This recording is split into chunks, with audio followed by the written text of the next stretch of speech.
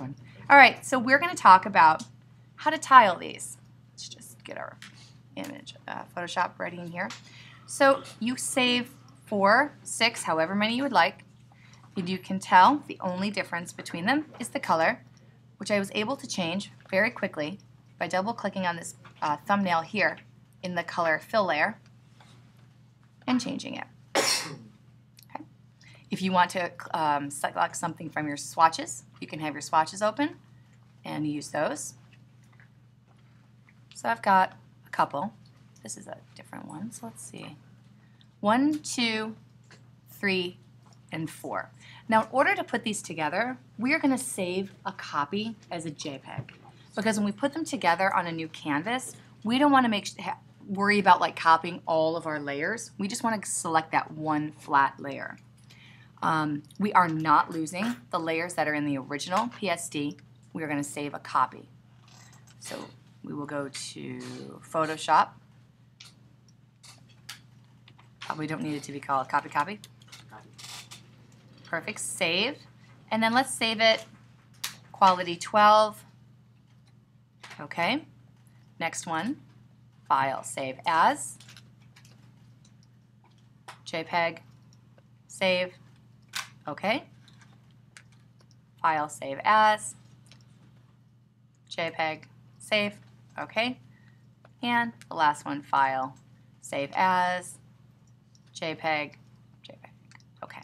So when you turn in your files, you can give me all of the originals, all the JPEGs, and the combo.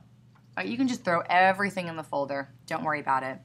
Um, and then this is the next thing we're going to do. We're going to locate all of our JPEGs, which should be perfect right up here. Now, in order to get these into a new file and have them all be the same size, it can be a little tricky. So we're going to do it the uh, easiest and most efficient way possible. All right, so in Photoshop, we're going to go File, New, and let's make it 8 by 8, resolution 200. And we're going to call this last name underscore ex3 underscore combo. Okay? And hit alright.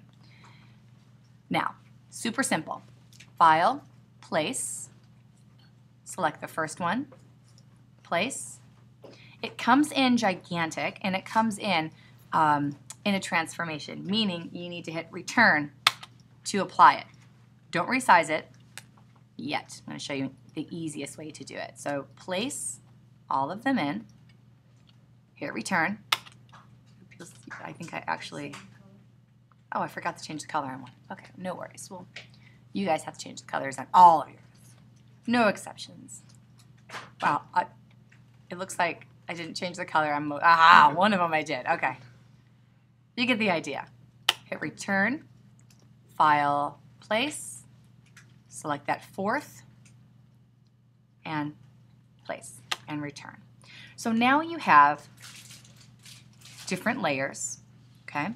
And what we are going to do is have auto select layer on. So check that when you have the move tool. We're going to select the top layer and then the bottom layer. In this case, the back, not the background, just all the, the uh, files we just brought in. Hold down the shift to select all of them. And then command T to go into edit transform. Hold down the shift, grab the corner, to transform all of them at the same time.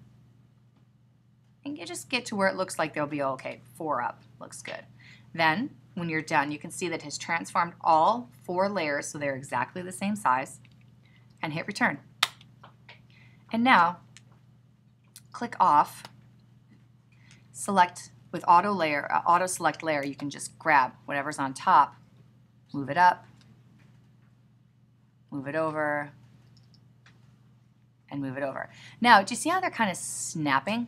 I really mm-hmm. like that because it tends that it looks really good. That is view snap. Okay. So I'm going to just move these over so there's no white and then move it up a little bit, do a little bit of nudging That looks pretty good. And then I'm going to grab the crop tool. Make sure it's unconstrained.